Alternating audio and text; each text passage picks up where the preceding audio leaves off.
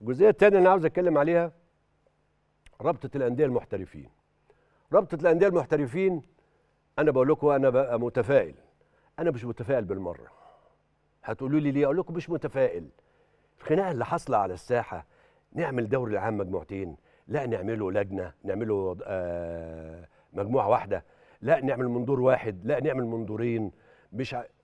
قبل ما تفكروا في الرابطة فكروا في شركات الكورة بالنسبة للأندية. في أندية لسه أندية جماهيرية لازم تتقلب تبقى شركات شركة في شركة للكورة. عشان كده لازم بتتسمى رابطة الأندية المحترفين. نادي جم... ليه جمهوره أو جماهير بمعنى صح إزاي يخش في رابطة الأندية المحترفين؟ وبعد كده قبل ما تفكر في أي حاجة تاني قبل ما تحط في جدول بتخانقوا على الدوري العام يقول لك لا مجموعة لا مجموعتين. أنت لازم تجيب الأول الأجندة الدولية. إيه الماتشات الدولية إيه؟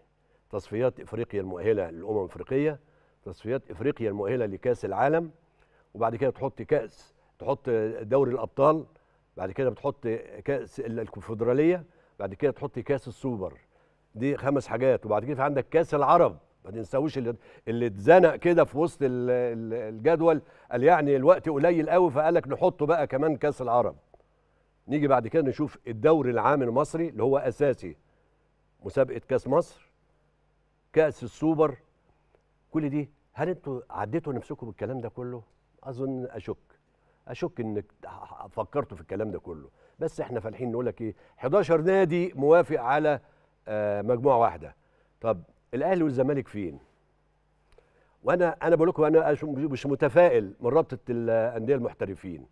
المفروض تجيبوا ناس متخصصة. ناس يكون مارست. ناس يكون على مستوى عالي من الكفاءة. مش عملية 11 نادي يقول لك أنا موافق وده والباقي يقول لك لأ خلاص ناخد بال11 قبل ما ناخد قرار لازم نفكر فيه زي الفار ما اخذنا قرار الفار. عكينا فيه وناس اتظلمت وناس استفادت. لازم رابطة الأندية المحترفين قبل ما نفكر فيها هي خطوة كويسة بس واخدينها خطوة متأخرة جدا وخطوة ماشيين في كل خطواتها غلط. اختيارات غلط. التوقيتات غلط. ال ال الكلام عن الدوري العام وال... ده إحنا أنتوا فاكرين زمان لما كنا بنلعب أيامنا إحنا في السبع أوائل السبعينات والثمانينات كان في جدول صغير كده بيطبع ويتباع في الترمايات يتباع في الأتوبيسات. ده أنا بقول بقى للجيل للجيل القديم لو أنتوا فاكرين الكلام ده كله. بيتحط جدول الدوري العام دلوقتي يقول لك بيتحط يوم بي بي بيوم بيومه أو أسبوع بأسبوع ويا ريت بيتنفذ. يجي نادي يقول لك لا مش هلعب يقول لك أجل يقول لك مش عارف إيه لا أجل. خلي المسابقة تمشي منتظمة حط جدولك صح حط الاجندات الدولية. خلي ما تظلمش المدربين بتوع المنتخبات ما تظلمش الأندية ما تضغطش الأندية ما تضغطش اللاعبين بتوعك. إحنا اللاعبين موجودين آه بموسم استثناء السنة اللي فاتت قلنا عشان خاطر آه ظروف الكورونا ومش الكورونا والكلام ده.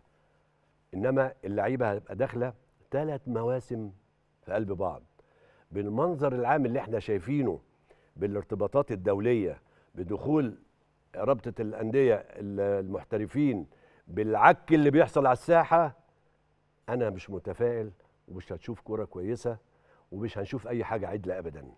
قبل ما ناخد قرارنا لازم نفكر. أتمنى أتمنى من الوزير أشرف صبحي وزير الشباب والرياضة تدخل. العملية على الساحة كده مش مظبوطة. هتقول لي ما بحبش اتدخل؟ لا لازم تتدخل لأن أنت وزير الشباب والرياضة. أنت مش وزير الشباب بس أو وزير الرياضه أنت وزير الشباب والرياضة. اختصاصاتك إنك تخش على الاتحادات. الاتحادات دي على اللجنة الأولمبية.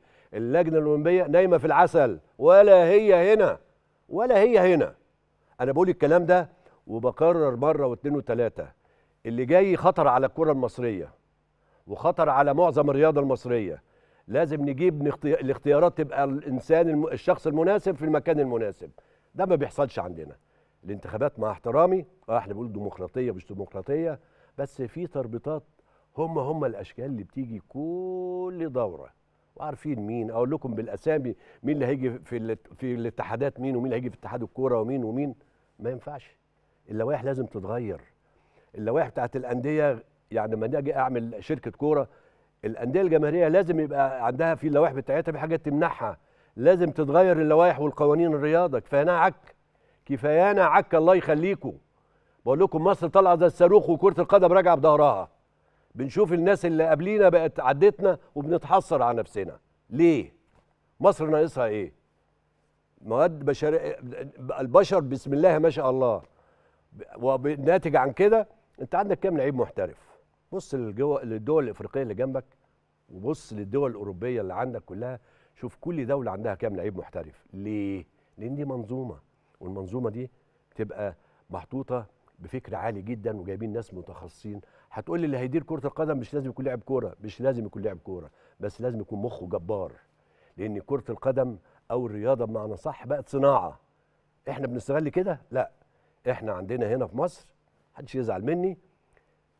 لما بنجيب رئيس اتحاد أي اتحاد ومعظم الأندية اللي بيجي عشان يتولى هو هياخد إيه؟ مش هيدي إيه؟ أنا لحد كده كلام انتهى. أتمنى إن الدكتور أشرف صبحي يتدخل ويدخل بكل قوة ويوقف المهازل اللي موجودة على الساحة الرياضية. إحنا داخلين على انتخابات انتخابات أندية وانتخابات اتحادات. هل الانتخابات هتكمل ولا مش هتكمل ولا هتتأجل ولا ولا ولا؟ عاوزين يبقى قرار واضح ولازم يبقى فيه لوائح واضحة وقوانين واضحة للرياضة المصرية والكرة المصرية. لحد كده أنا توقفت عن الكلام لأن أنا بتعب قوي من الكلام بصراحة لما بشوف دول قبلينا بقت عدتنا في كرة القدم. هناخد فاصل ونواصل حلقة الليلة من المجري